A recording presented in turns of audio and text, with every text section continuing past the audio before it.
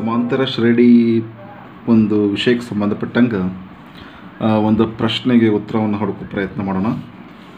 So ಒಂದು ಅನ್ವಯಿಕ ಸಂಬಂಧಪಟ್ಟಂಥ ಒಂದು ಪ್ರಶ್ನೆಯನ್ನು ನಾನು ಆಯ್ಕೆ ಮಾಡಿದ್ದೀನಿ.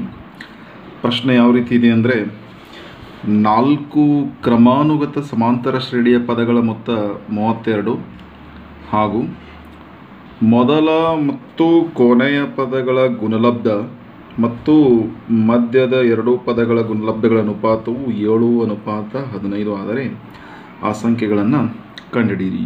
ಅಂದರೆ ಆ ನಾಲ್ಕು ಸಂಖ್ಯೆಗಳು ಯಾವುದಾವು ಅನ್ನೋದನ್ನು ನಮಗೆ ಕಂಡುಹಿಡಿಯಿರಿ ಅಂತ ನಮಗೆ ಒಂದು ಪ್ರಶ್ನೆಯನ್ನು ನಾವು ಇಲ್ಲಿ ಕೇಳಿದ್ದಾರೆ. ಇನ್ನು ಈ ಪ್ರಶ್ನೆಗೆ ಉತ್ತರವನ್ನು ಹುಡುಕೋಣ.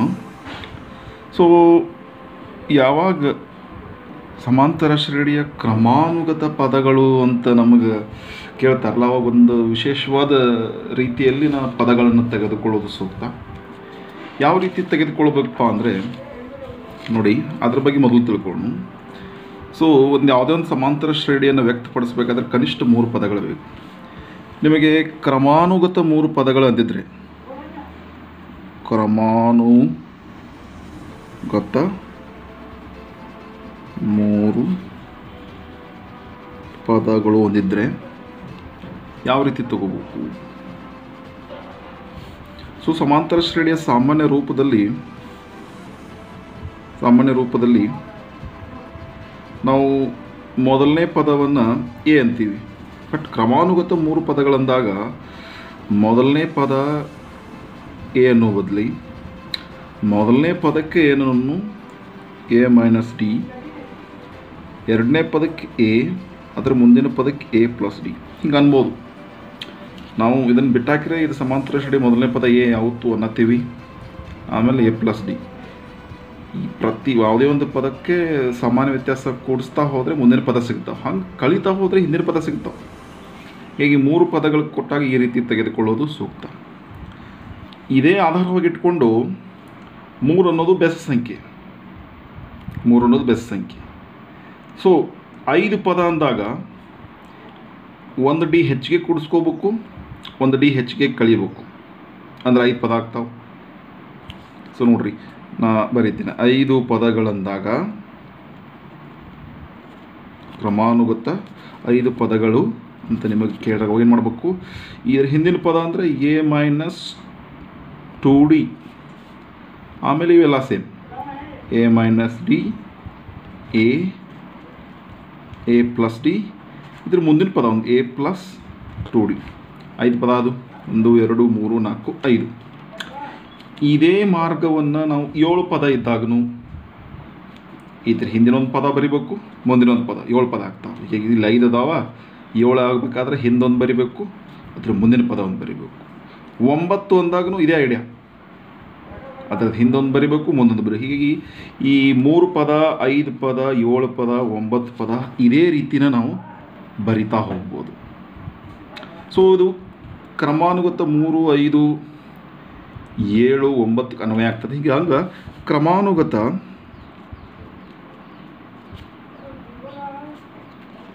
ನಾಲ್ಕು ಪದ ಅಂದಾಗ ಕ್ರಮಾನು ಮತ್ತು ನಾಲ್ಕು ಪದಗಳಂದಾಗ ನಾವು ಸ್ವಲ್ಪ ಭಿನ್ನವಾಗಿ ಯೋಚನೆ ಮಾಡೋಣ. ಯಾವ ರೀತಿ ಯೋಚನೆ ಮಾಡೋಣಪ್ಪ ಅಂದರೆ, ಕ್ರಮಾನುಗತ ನಾಲ್ಕು ಪದಗಳಂದಾಗ ನಾವು ಅವಾಗ ಯಾವ ರೀತಿ ಪದ ತಗೋಬೇಕು ಅಂದರೆ ಸೊ ಅವಾಗ ಈ ರೀತಿ ತಗೋಬಾರ್ದು. ಈ ರೀತಿ ತೊಗೊಂಡ್ರೆ ನಮಗೆ ಬಿಡ್ಸೋಕ್ಕಾಗಲ್ಲ.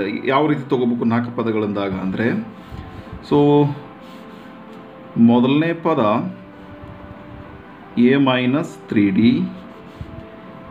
ಎರಡನೇ ಪದ ಎ ಪ್ಲಸ್ ಡಿ ಮೂರನೇ ಪದ A sorry A minus D ಆಮೇಲೆ ಎ ಪ್ಲಸ್ ತ್ರೀ ಡಿ ಈ ರೀತಿ ತೊಗೋಬೇಕು, ಇದು ಮೈನಸ್ ಸೊ ಇದು ಸರಿ ಹೈ, ನಾವು ತೊಗೊಂಡು ಸರಿ ಐತೆನಾ ಅಂತ ಪರೀಕ್ಷೆ ಮಾಡಿದಾಗ, ನೋಡ್ರಿ, ಯಾವುದೇ ಒಂದು ಪದವನ್ನು ಅದ್ರ ಹಿಂದಿನ ಪದ ಕಳೆದಾಗ ನಮಗೆ ಸಾಮಾನ್ಯ ವ್ಯತ್ಯಾಸ ಸ್ಥಿರ ಇರಬೇಕು. ಡಿ ಬೆಲೆ ಸೇಮ್ ಬರ್ಬೇಕು. ನೋಡ್ರಿ, ಇದ್ರೊಳಗೆ ಇದನ್ನು ಕಳೆದ್ರೆ ಎ ಎ ಕ್ಯಾನ್ಸಲ್ ಆಗುತ್ತೆ. ಮೂರು ಡಿ ಒಳಗೆ ಒಂದು ಡಿ ಕಳೆದ್ರೆ ಟು ಡಿ ಹಂಗೆ ಇಲ್ಲಿ, ಇದ್ರೊಳಗೆ ಇದನ್ನ ಕಳಿಬೇಕು. ಎ ಪ್ಲಸ್ ಡಿ ಒಳಗೆ ಎ ಮೈನಸ್ ಡಿ ಕಳೆದ್ರೆ ಎ ಎ ಕ್ಯಾನ್ಸಲ್ ಆಗುತ್ತೆ. ಡಿದೊಳಗೆ ಮೈನಸ್ ಡಿ ಕಳೆಯೋತ್ನಾಗ ಏನಾಕತಿ? ಈ ಮೈನಸ್ ಚಿಹ್ನೆ ಪ್ಲಸ್ ಚಿಹ್ನೆ ಆಕತಿ. ಅವಾಗ ಏನಾಕತಿ? ಡಿ ಮೈನಸ್ ಡಿ ಹೋಗಿ ಪ್ಲಸ್ ಡಿ ಆಕತಿ. D plus D two D ಇಲ್ಲಿ ಟು ಡಿ ವ್ಯತ್ಯಾಸ ಬಂತು, ಇಲ್ಲಿ ಟು ಡಿ ವ್ಯತ್ಯಾಸ ಬಂತು. ಹಂಗೆ ಇಲ್ಲಿ same A minus three D ಒಳಗೆ A my sorry A minus D ಒಳಗೆ ಎ ಮೈನಸ್ ತ್ರೀ ಡಿ ಕಳೆದ್ರೆ ಎ ಕ್ಯಾನ್ಸಲ್ ಆಗಿ ಡಿ ಮೈನಸ್ ಡಿ ಒಳಗೆ ಈ ಚಿಹ್ನೆ ಪ್ಲಸ್ ಆಗುತ್ತೆ. ಕಳೆಯೋ ಚಿಹ್ನೆ. ಗುಣಾಕಾರ ಆದಾಗ ಅವಾಗ ಮೂರು ಡಿ ಒಳಗೆ ಒಂದು ಡಿ ಕಳೆದ್ರೆ ಇಲ್ಲಿ ಡಿ ಟು ಡಿ ಬರ್ತದೆ ಹೀಗಾಗಿ ಇಲ್ಲೆಲ್ಲ ಸಾಮಾನ್ಯ ವ್ಯತ್ಯಾಸ.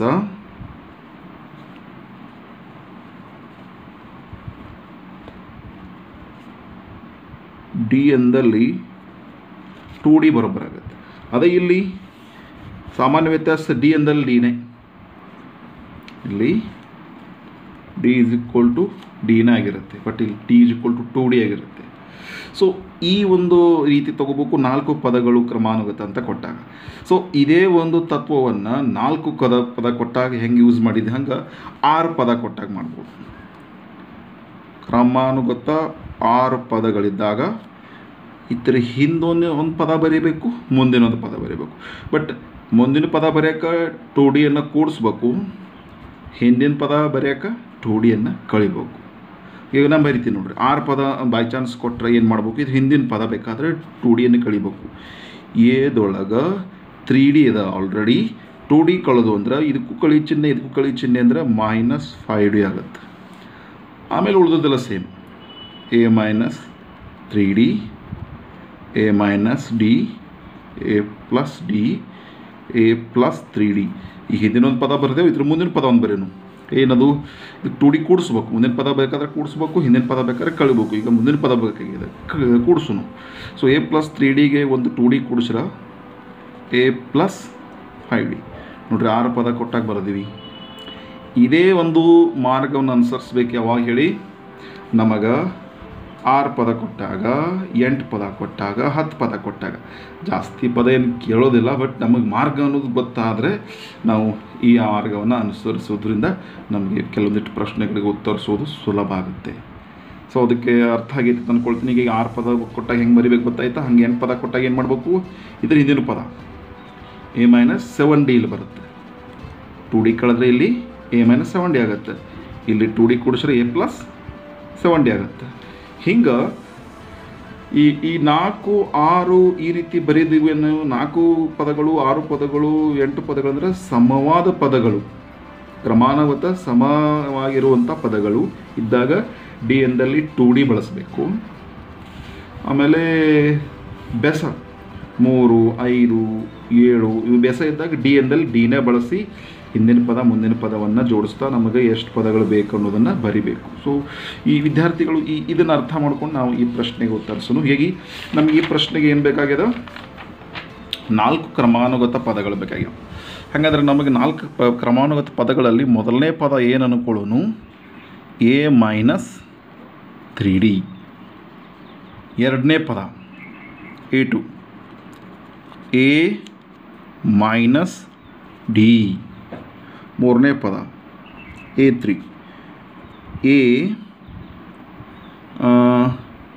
plus d ನಾಲ್ಕನೇ ಪದ. ಎ ಪ್ಲಸ್ ತ್ರೀ ಡಿ ನಾವು ಈಗಾಗಲೇ ಇದನ್ನ ಅರ್ಥ ಮಾಡ್ಕೊಂಡೀವಿ. ನಾಲ್ಕು ಪದ ಅಂದರೆ ಈ ರೀತಿ ತಗೋಬೇಕು ಅಂತ. ಡಿ ಇದ್ದಲ್ಲಿ ಟು ಡಿ ಸೊ ನಾವು ತ್ರೀ ಡಿ ಒಳಗೆ ಡಿ ಕಳೆದ್ರೆ ಟು ಡಿ ಮೈನಸ್ ಡಿ ಒಳಗೆ ಸಾರಿ ಡಿ ಒಳಗೆ ಮೈನಸ್ ಡಿ ಕಳೆದ್ರೆ ಟು ಡಿ ಮೈನಸ್ ಡಿ ಒಳಗೆ ಮೈನಸ್ ತ್ರೀ ಡಿ ಕಳೆದ್ರೂ ಟು ಡಿ ಇಲ್ಲೆಲ್ಲ ಸಾಮಾನ್ಯ ವ್ಯತ್ಯಾಸ ಟು ಡಿ ಆಗಿದೆ. ನಾವು ಒಟ್ಟು ಇವು ಸಮಾಂತರ ಶ್ರೇಣಿಯಲ್ಲಿ ಇರ್ತಾವು ಅಂತ ಅರ್ಥ ಮಾಡ್ಕೊಂಡು ಮುಂದುವರಿಬೇಕು. ಸೊ ಈಗ ಅವ್ರು ಹೇಳಿದ ಮಾತನ್ನು ಕೇಳೋನು, ಅವ್ರು ಏನು ಕೇಳ್ಯಾರು? ನಾಲ್ಕು ಕ್ರಮಾನುಗತ ಸಮಾಂತರ ಶ್ರೇಣಿಯ ಪದಗಳ ಮೊತ್ತ ಎಷ್ಟಿದೆ? ಮೂವತ್ತೆರಡು. ಸೊ ಎಷ್ಟು ಅನುಕೂಲ ಆಗುತ್ತೆ ನೋಡಿ ಇಲ್ಲಿ ಈ ರೀತಿ ಪದ ತಗೊಳ್ಳೋದ್ರಿಂದ. ನಾಲ್ಕು ಪದಗಳಂದರೆ a one plus a two plus a three plus a four is equal to thirty two a one ಅಂದರೆ a minus three d a two ಅಂದರೆ ಎ ಮೈನಸ್ ಡಿ ಆಮೇಲೆ ಎ ತ್ರೀ ಅಂದರೆ ಎ ಪ್ಲಸ್ ಡಿ ಅಲ್ಲಿ a four ಅಂದರೆ a plus three d is equal to thirty two. ಇನ್ನು, ಇಲ್ಲಿ ನೋಡಿ, three d minus three d get cancel minus d plus d get cancel ಉಳಿದು A A A A. ಒಂದು A, ಎರಡು A, ಮೂರು A, ನಾಲ್ಕು therefore ನಾಲ್ಕು A ಉಳಿತು thirty two. Therefore a is equal to thirty two. ಈ ನಾಲ್ಕನ್ನು ಇಲ್ಲೇ ಹೋದರೆ ನಾಲ್ಕೊಂದಲೇ ನಾಲ್ಕೆಂಟ್ಲೆ ಮೂವತ್ತೆರಡು. ಸೊ ಎ ಬೆಲೆ ಸಿಕ್ತು. ಎ ಬೆಲೆ ಎಷ್ಟು? ಎಂಟು. ಬಟ್ ಈ ಎ ಬೆಲೆಯನ್ನು ನಾವು ಒಂದೇ ಇಟ್ಕೊಂಡು ಏನು ಹೇಳಕ್ಕೆ ಬರಲ್ಲ. ಇನ್ನೊಂದು ಬೇಕೇ ನಮ್ಗೆ. ಯಾಕಂದ್ರೆ ನಾಲ್ಕು ಪದಗಳಲ್ಲಿ ನಾಲ್ಕು ಪದ ಬೇಕಾಗ್ಯಾವ. ಅದ್ರಾಗ ಎ ಬೆಲೆ ಸಿಕ್ತು. ಸೊ ಇನ್ನೂ ಏನು ಬೇಕು? ಡಿ ಬೆಲೆ ಬೇಕು. ಡಿ ಬೆಲೆ ಬೇಕಾದ್ರೆ ಇನ್ನೊಂದು ಮಾತನ್ನು ನಾವು ಪ್ರಶ್ನೆಯಲ್ಲಿ ಕೊಟ್ಟಿದ್ದಾರಲ್ಲ ಅದನ್ನು ಬಳಸೋಣ. ಸೊ ಇನ್ನೊಂದು ಮಾತ ಪ್ರಶ್ನೆಯಲ್ಲಿ ಏನು ಕೊಟ್ಟಿದ್ದಾರೆ? ಸ್ವಲ್ಪ ನೋಡೋದಾದರೆ ನೋಡಿ. ಇನ್ನೊಂದು ಮಾತು ಏನು ಹೇಳ್ತಾರೆ? ಮೊದಲ ಮತ್ತು ಕೊನೆಯ ಪದಗಳ ಗುಣಲಬ್ಧ. ಮೊದಲ ಪದ ಅಂದರೆ ಎ ಒನ್ ಕೊನೆಯ ಪದ ಅಂದರೆ ಎ ಫೋರ್ ಗುಣಲಬ್ಧ. ಮತ್ತು ಮಧ್ಯದ ಎರಡೂ ಪದಗಳ ಗುಣಲಬ್ಧ. ಮಧ್ಯದ ಎರಡೂ ಪದಗಳ ಗುಣಲಬ್ಧ ಅಂದರೆ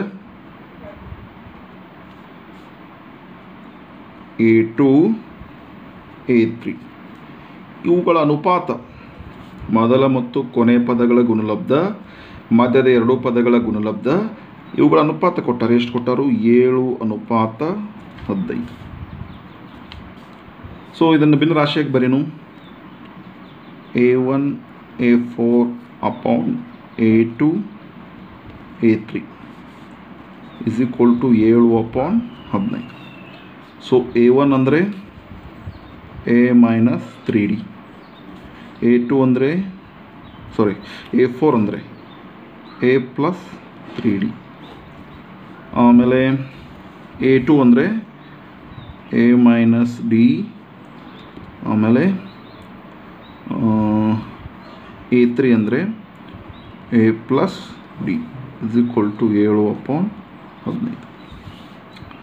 ಸೊ ಇಲ್ಲಿ ಸ್ವಲ್ಪ ವಿಚಾರ ಮಾಡಿದ್ರೆ ಏನಾಗುತ್ತೆ? ಅಂಶದಲ್ಲಿ ಅಂದರೆ, ನೋಡಿ, ಎರಡು ದ್ವಿಪದಗಳ ಗುಣಾಕಾರದೊಳಗೆ ಈ ಮೊದಲನೇ ಪದ ಒಂದೇ ಆಗಿದೆ, ಎರಡನೇ ಪದ ಒಂದೇ ಆಗಿದೆ, ಒಮ್ಮೆ ಮೈನಸ್ ಇದೆ ಒಂದು ಪ್ಲಸ್ ಇದೆ ಅಂದರೆ ಇಲ್ಲಿ a plus b into bracket a minus b ಸೂತ್ರದ ಪ್ರಕಾರ ಇವುಗಳ ವರ್ಗ ಬರೀಬೇಕು.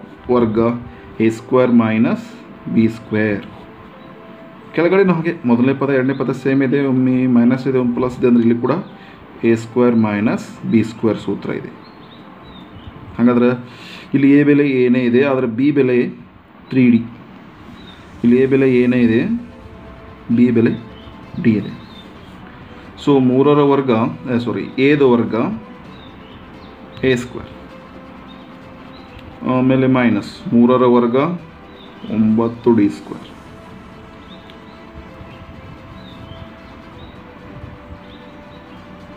ಅಪಾನ್ ಎದ ವರ್ಗ, ಎ ಸ್ಕ್ವೇರ್, ಡಿದ ವರ್ಗ, d square. Is equal to ಏಳು ಅಪಾನ್ ಹದಿನೈದು ಸೊ ಇದನ್ನು ಓರೆ ಗುಣಾಕಾರ ಮಾಡೋಣ. ಸೊ ಓರೆ ಗುಣಾಕಾರ ಮಾಡೋಕ್ಕಿಂತ ಮುಂಚೆ ಎ ಬೆಲೆ ತುಂಬಿಡೋಣ. ಎ ಬೆಲೆ ಎಂಟಿದೆ. ಸೊ ಎ ಬೆಲೆ ತುಂಬ್ರೆ ಏನಾಗುತ್ತೆ? ಈ ಹದಿನೈದನ್ನು ಇಲ್ಲಿ ಓರೆ ಗುಣಾಕಾರ ಮಾಡ್ತೀನಿ. ಎ ಬೆಲೆ ತುಂಬಿಡ್ತೀನಿ. ಎ ಬೆಲೆ ಎಷ್ಟು? ಅಥವಾ ಎ ಬೆಲೆ ಇರಲಿ ಹಾಗೆ ಇರಲಿ. ಒಂಬತ್ತು ಡಿ ಸ್ಕ್ವೇರ್.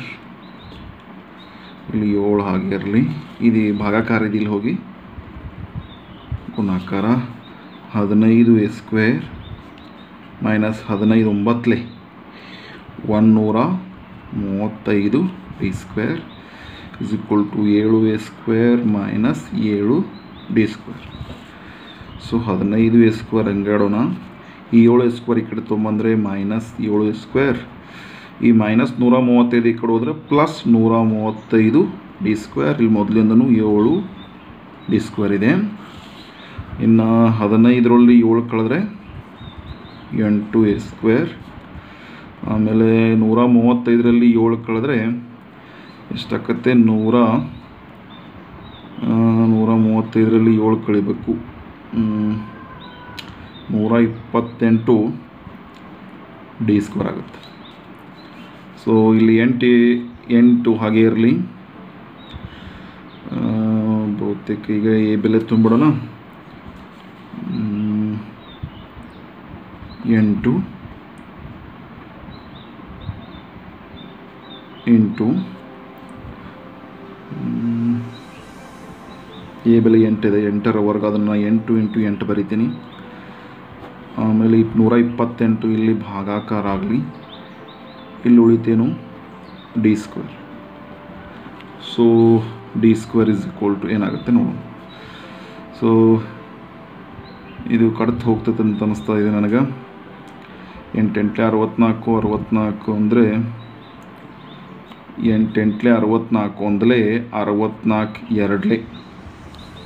ಎಂಟೆಂಟ್ಲೆ ಅರವತ್ನಾಲ್ಕು ಆಯ್ಕತ್ತಾ? ಅರವತ್ನಾಲ್ಕು ಒಂದಲೆ, ಅರವತ್ನಾಲ್ಕು ಎರಡಲೇ. ಇನ್ನು ಎರಡು ಒಂದಲೆ, ಎರಡು ನಾಲ್ಕಲೇ. Therefore d square is equal to four four d is equal to ನನಗೆ ನಾಲ್ಕರ ವರ್ಗಮೂಲ ಅಂದರೆ ಡಿ ಬೆಲೆ plus or minus two so d ಬೆಲೆ plus or minus two so ಇಲ್ಲಿ ಎರಡೂ ಬೆಲೆ, ಯಾವುದಾದ್ರೂ ಒಂದು ಬೆಲೆಯನ್ನು ನೀವು ಉಪಯೋಗಿಸ್ಬೋದು. ನಾನು ಡಿ ಬೆಲೆ ಪ್ಲಸ್ ಅಂತ ಉಪಯೋಗಿಸ್ತೀನಿ. D is equal to plus two ಆದರೆ. ಸೊ ನಮಗೆ ಬೇಕಾದ ಆ ನಾಲ್ಕು ಪದಗಳನ್ನು ಯಾವುವು ಅಂತ ನೋಡೋಣ. ಸೊ ಡಿ ಬೆಲೆ ಪ್ಲಸ್ ಟು ಉಪಯೋಗಿಸಿದ್ರೆ ಆ ನಾಲ್ಕು ಪದಗಳು ಸೇಮ ಬರ್ತವೆ. ಡಿ ಬೆಲೆ ಮೈನಸ್ ಟು ಉಪಯೋಗಿಸಿದ್ರೆ ನಾಲ್ಕು ಪದಗಳು ಸೇಮ ಬರ್ತವೆ. ಸೊ ಈಗ ನಮ್ಗೆ ಎ ಬೆಲೆ ಎಂಟು ಅಂತ ಸಿಕ್ಕಿದೆ. ಡಿ ಬೆಲೆ ಎರಡು ಅಂತ ಸಿಕ್ಕಿದೆ. ಇವುಗಳನ್ನು ಬಳಸಿ ನಾವು ನಾಲ್ಕು ಪದಗಳನ್ನು ಬರೆಯೋ ಪ್ರಯತ್ನ ಮಾಡೋಣ. ಸೊ ಒಂದನೇ ಪದ ಎ ಮೈನಸ್ ತ್ರೀ ಡಿ ಎಂದಿದ್ರಿ. ಸೊ ಎ ಅಂದರೆ ಎಂಟು ಆಮೇಲೆ ತ್ರೀ ಡಿ ಬೆಲೆ ಟೂ ತುಂಬ್ರೆ.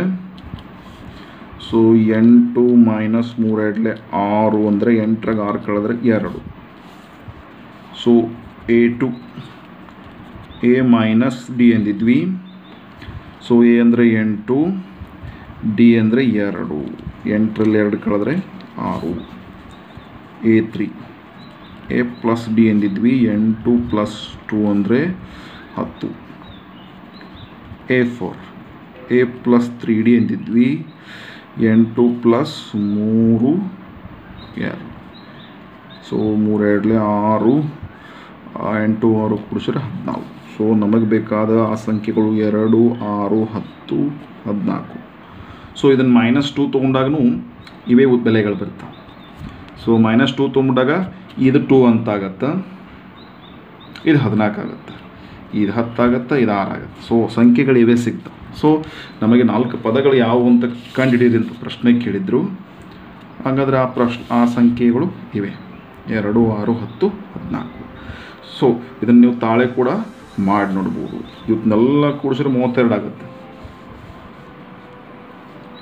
ಎನ್, ಯಾರು ಎರಡು, ಎಂಟು ಎಂಟು, ಹದಿನೆಂಟು ಹದಿನೆಂಟು, ಹದಿನಾಲ್ಕು ಕೂಡಿಸಿದ್ರೆ ಮೂವತ್ತೆರಡು.